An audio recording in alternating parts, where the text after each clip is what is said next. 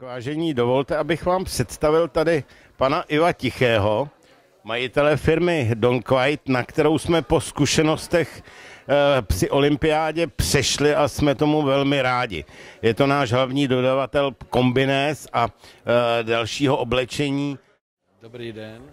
Tak zrovna čistě náhodou tady vidíte rozdíl mezi sjezdovou kombinézou, která je čistá bez vycpávek, to je originál Kitanova kombinéza a kombinézu s vycvávkou a slalomovou, to je originál Filipa Trejbala kombinéza.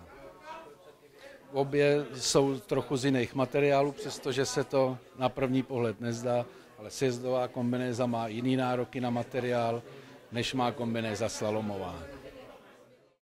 My jsme strašně rádi, zejména z důvodu organizačních a toho, že se e, ty nejlepší závodníci můžou e, podílet i v podstatě na vývoji těch kombinéz. E, jsou proměřovaný neustále, společnýma silama se nám podařilo zajistit profukovadlo.